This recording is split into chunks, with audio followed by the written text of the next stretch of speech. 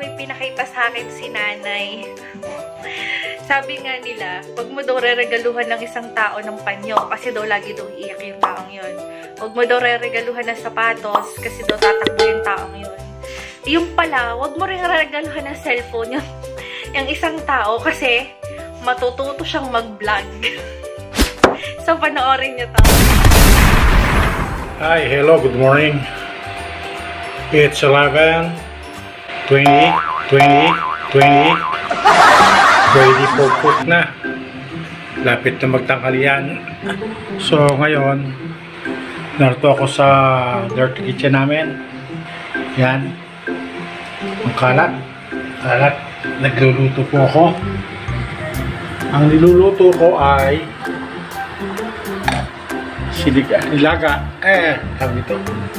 Ang tawag dito, ah, hindi ko alam kung ano tawag dito.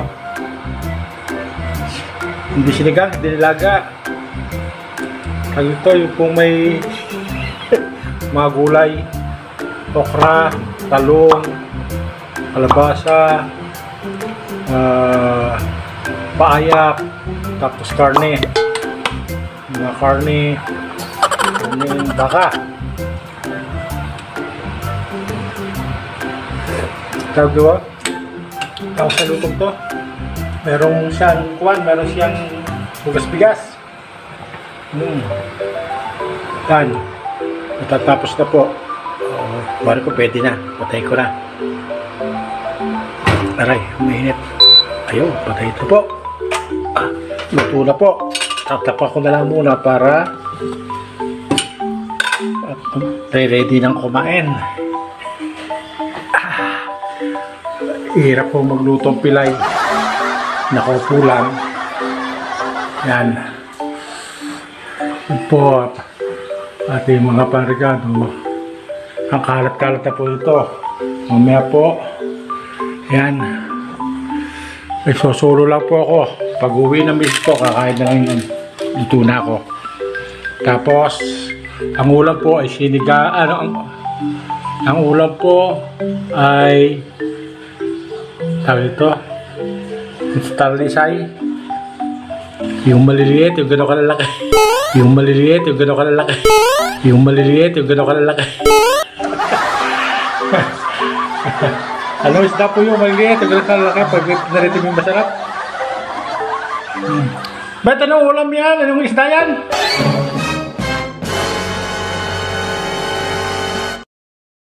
Nagsosolo lang po ako. Pag uwi ng miss ko, kakain na lang yun.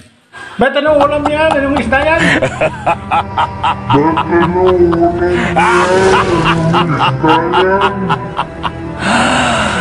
Ako po yung mahina namin Korea. Ano isda yan?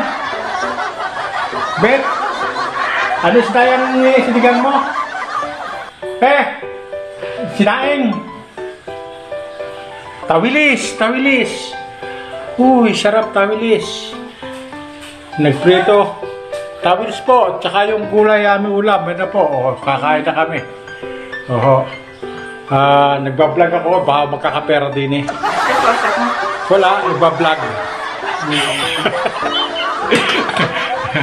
Balay nyo. Ah, yung aking mga content pagluluto. Tay, papasok na po ako. Yan, dala na po di kabet. Susunod na po ako. Dala ko po ako upuan. At ako po'y pilay, ika-ika. Dapat may upuan tayo sa labas. Yan. Ka, maghahain na po. Kakain na kami. Nakaluto na ako. Yan po, aming ulam. Tabilis gulay. Yan. Iwas rayuma. At nirarayuma po inyong lingkod. Ah. Oh, kaya po tayo. Ayan.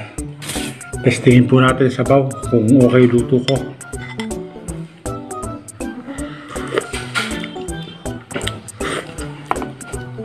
Ah, sarap. Ah, sarap. Sarap. Kumain ka marami. Aantokin ka. Pag natulog ka, pagising mo pili ka.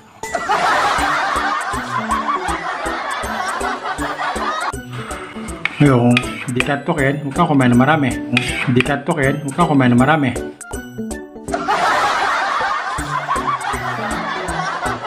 O, kaya tayo. Patay ka muna at kakain kami. Ayun guys, nakita niya naman, di ba? So, may future. sa kanya ko na ibibigay yung corona ko kasi hindi na rin naman ako active sa pagbablog. Tawa lang ako ng tawa. so yun lang mga kalapang. Maraming salamat sa panonood and have a nice day. Bye! Música